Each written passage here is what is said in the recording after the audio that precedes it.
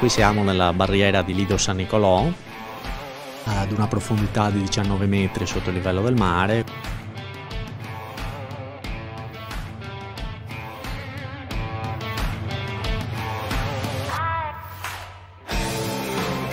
Questo qua è il tunnel galleria principale. Questo tunnel ha una lunghezza di 400 metri e al di sopra del tunnel sono alloggiate 20 paratoie da 20 metri ognuna.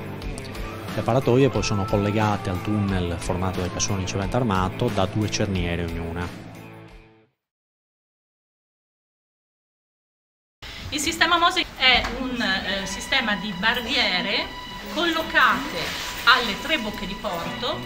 Eh, le barriere appunto sono sempre adagiate sul fondale del mare quando è previsto un evento di acqua alta eccezionale, e per eccezionale intendiamo sopra il metro, il metro e dieci, perché da quel punto in poi si comincia ad allagare il centro storico di Venezia e degli altri abitati lagunari, quindi in occasione di un'acqua alta eccezionale le barriere vengono eh, riempite di aria compressa quest'aria compressa spiazza l'acqua e le barriere, essendo incernierate ed essendo appunto delle scatole metalliche, per spinta di galleggiamento si sollevano e creano una diga flottante. Queste collegano le paratoie alle strutture in calcestruzzo che sono le fondazioni e attraverso le cerniere ci sono tutti gli impianti di aria compressa e di acqua di flussaggio che permettono la movimentazione delle, delle paratoie è bene che ci sia sempre un presidio. Eh, sostanzialmente durante il sollevamento diciamo, per ogni barriera vengono impegnate diciamo, 15 persone okay, che sono divise sostanzialmente in tre gruppi.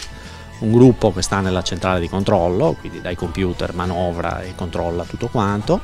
poi c'è un gruppo che sta qua sotto in galleria, che quindi si occupa di controllare sul posto diciamo, che tutte le apparecchiature funzionino correttamente,